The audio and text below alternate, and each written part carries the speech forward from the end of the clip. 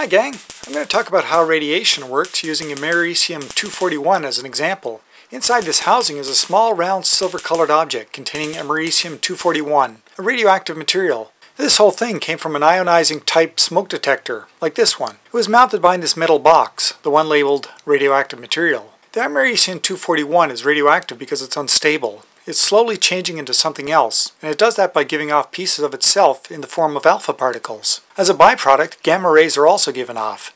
This giving off of alpha particles and gamma rays are the radiation that's going on. They're being radiated away by the decay of the americium-241. Let's look at it more closely. Here's the nucleus of the americium-241 atom. It has 95 protons and 146 neutrons. 95 plus 146 equals 241, hence americium-241. But it's the number of protons, the 95, that makes it an americium atom. The alpha particle that it emits when it undergoes radioactive decay is really two of those protons and two of those neutrons. The result is something that has only 93 protons and 144 neutrons. Since it now has 93 protons instead of 95, it's no longer an americium atom. It's now a neptunium atom instead. Neptunium-237 to be precise. In the periodic table of elements, it's moved from here to here. What about the gamma ray byproduct I mentioned?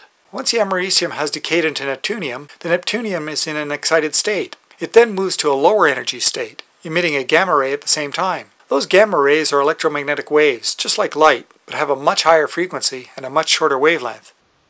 Here's a setup that can be used to detect these alpha particles. I've got my homemade high voltage power supply, a variac so I can adjust the voltage, and I've arranged a small spark gap here. If I turn the voltage up high enough, you can see it arcing across the gap. Now I'll turn the voltage down, just below what's needed for arcing. The reason the arcing stopped was because air is normally an electrical insulator. It doesn't conduct electricity. Each atom in that air has the same number of protons as electrons. They're not charged or electrically neutral. Next, I've attached the americium, still in its housing, to the end of this long plastic stick. That's so I don't get shocked during the test. For the test, I bring the americium close to the spark gap, with nothing between it and the spark gap. You can see that when I do that, arcing happens. Alpha particles, consisting of two protons and two neutrons, are pretty massive, and so they don't get very far before they collide with other atoms. And given the energy of those alpha particles, they knock electrons from those atoms, causing those atoms to be positively charged, what are called ions. That means the air is now more electrically conductive. And since the air is more electrically conductive, the electricity can cross from one side of the spark gap to the other in the form of an arc.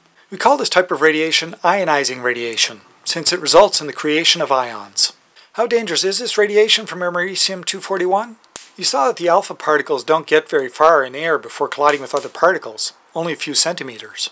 It's often said that the alpha particles can be blocked by a piece of paper, but here it is up close with five pieces of photocopier paper and a few are still getting through. The same is true with a piece of cardboard. However, a thin piece of plastic cut from a margarine container seems to block them completely, and so does this thicker piece of plastic from a hobby store. Swallowing or inhaling it can result in cancer, so wear gloves when working with this stuff, and preferably don't remove it from this housing. At least if it's still in the housing, then there's no danger of swallowing it or it breaking up into smaller pieces. What about the gamma rays?